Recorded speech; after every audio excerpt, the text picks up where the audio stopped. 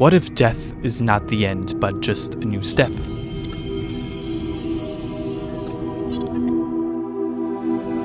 DE-EXIT explores this idea while letting you explore the plane of memory. A world that inhabits the dead who strive for good in life, presented in a unique voxel art style. What was once a peaceful place is now slowly being corrupted, and it is up to you to save it. In this video, we will take a look at the biomes you will get to explore while making your way through DE-EXIT.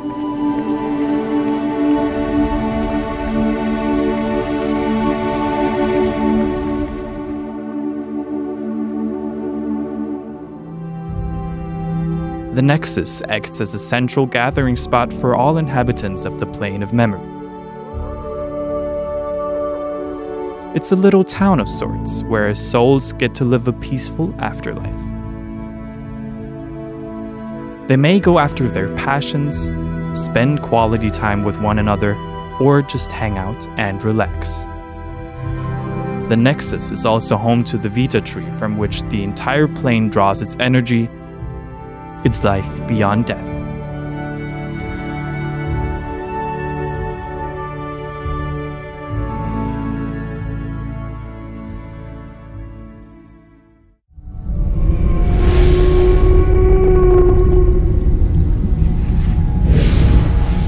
Between the fishes, clams, islands, and colorful coral reefs, this area within the plane of memory almost seems familiar. The only thing missing is the water we would accept everything to be submerged in. A tribute to the waters of the world, or free flowing creativity of this one's creator, the waterless ocean truly is a sight to behold even though here, too, something is rather amiss.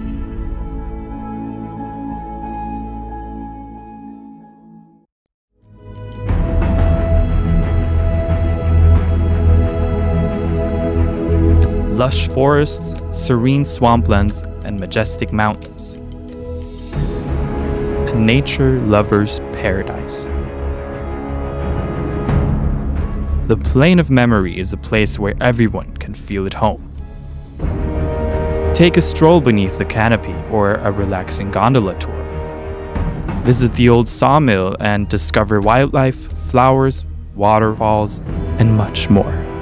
However, much like the rest of the plane, these beautiful wildlands harbor something sinister, something that is not supposed to be there.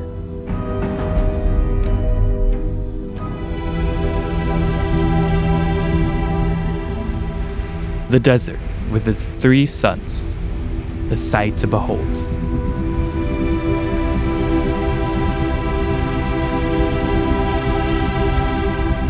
Adventurous souls may explore an ancient temple complex not dissimilar to our earthly Aztec pyramids.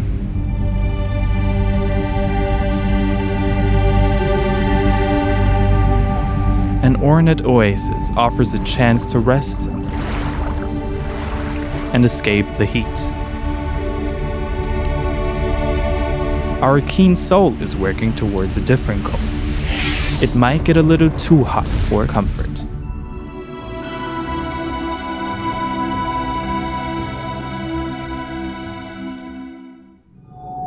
Snow covered peaks, an alpinist stream. But that's not all.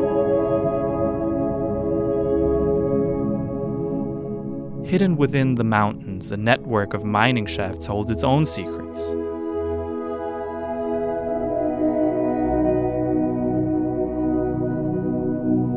A group of souls seems to be in dire need of help to carry on with what seems to be a task of utmost importance.